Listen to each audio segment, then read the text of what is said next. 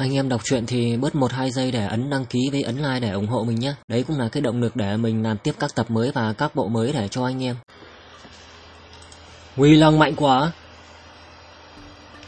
Đấy, chúng ta thật sự đã bỏ qua rất nhiều cơ hội. Phải đó, bây giờ gặp cha con này không chỉ có tu vi địa tiền, còn có một bức tranh cuốn như vậy. Ngay cả Bạch Thiền Nhất cũng bị đánh cho chạy mất xác rồi, vô địch cả Bắc Hải rồi.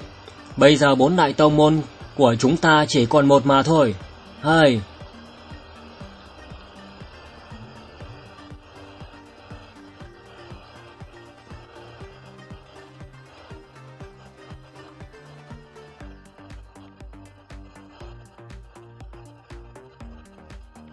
Phi, phi thuyền. Thuyền này lớn hơn rồi.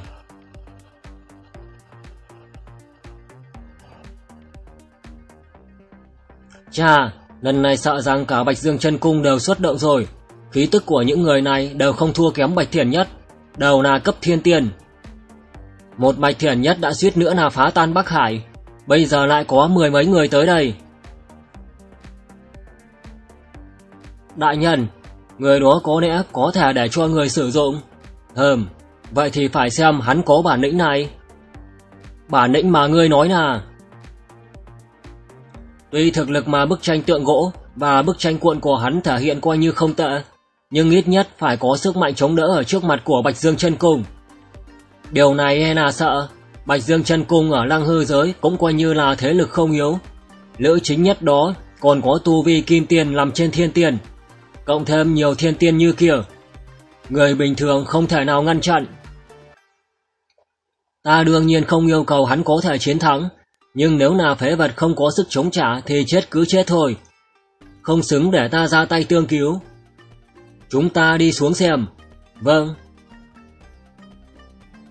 Cha, đừng sợ chúng ta có tiên sinh. Sự việc càng ngày càng quậy lớn rồi, không ngờ cao thủ của Bạch Dương chân Cung đến nhanh như vậy. Chúng ta mau đi thôi. Đợi đã, chuyện này đối với chúng ta mà nói, có lẽ nào không phải là cơ hội hay sao? Đây là một cơ hội đứng lại. Một cơ hội đứng lại đội.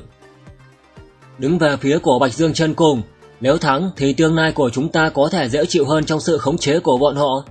Đứng về phía của vị kia ở Thanh Ngưu Tông, đến lúc đó, chúng tôi có lẽ cũng có cơ hội đi theo hai cha con Diệp Lăng.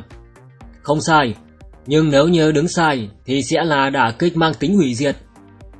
Trước mắt thì thấy bức tranh cuộn đó khá là lợi hại, nhưng nếu vị kia của Thanh Ngưu Tông không có chiêu sau, đối mặt với đội hình này của Bạch Dương chân Cung, khó.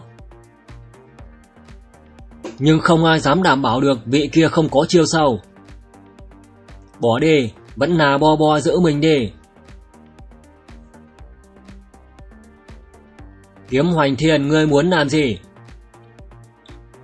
Ta đứng về phía vị kia của Thanh Ngưu Tông. Ngươi?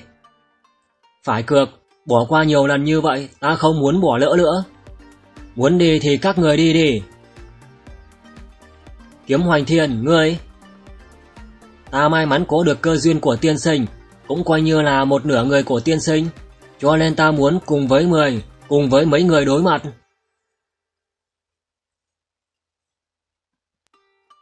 Sư tôn, chính là uy lăng phóng thích ra từ bức tranh cuộn đó có thể đánh tan ba đạo ấn ký của ta, còn cả bức tượng mà ta đã nhắc với người đều đến từ trong, tay của người đó.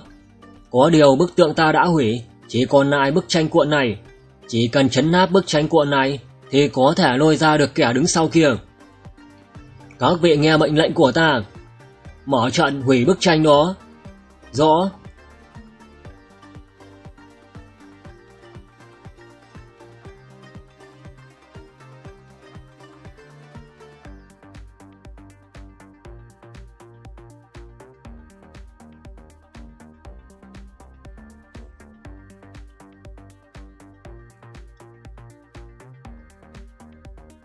Bức tranh.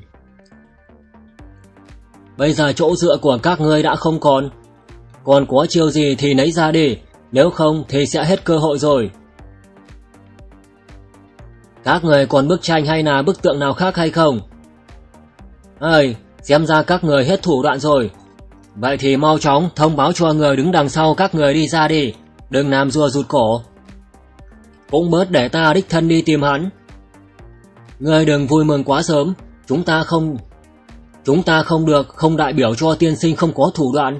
Bản lĩnh của tiên sinh không phải là thứ mà các ngươi có thể tưởng tượng được. Vậy ơ, vậy ngươi nói ra một lý do hắn từ đầu tới cuối không xuất hiện đi. Ta thấy hắn là nhìn thấy đội hình của Bạch Dương chân cung ta nên đã sợ rồi.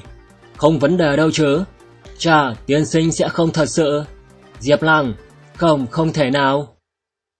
Có được dựa theo suy đoán của mình, tiên sinh chắc chắn là người dùng cách đặc biệt để tu luyện.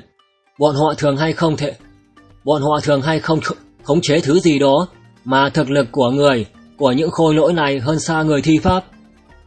Chỉ là một khi mất đi vật thao túng, người thi pháp không đáng sợ nữa.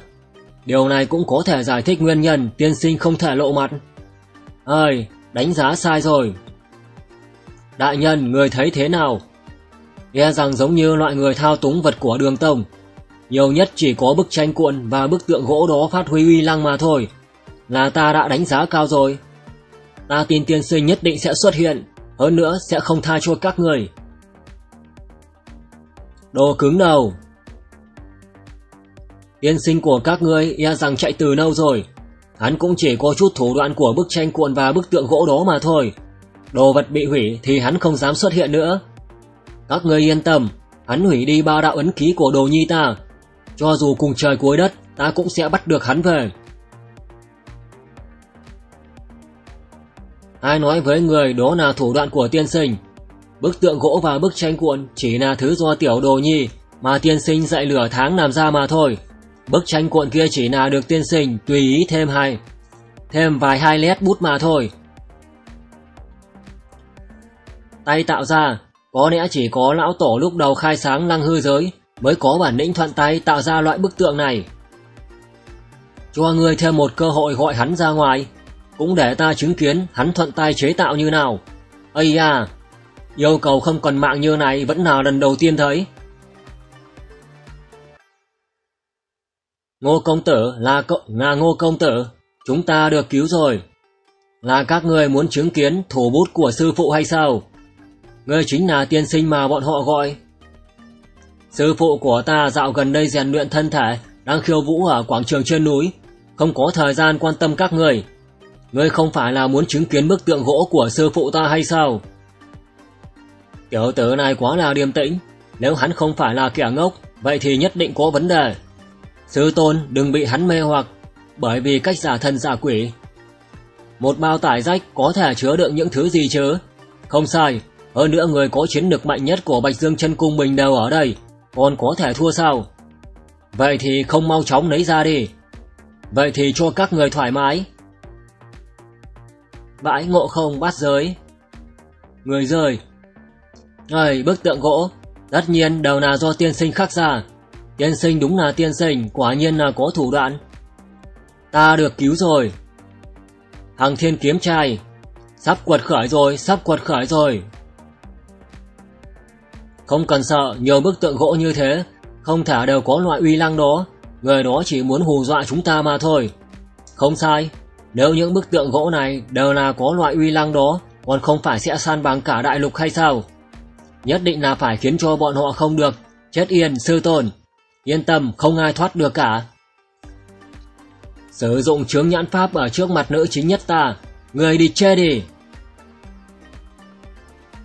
Hờm, mặt đầy nông. Tay cầm một cái gậy sắt. Ăn một gậy của lão tôn.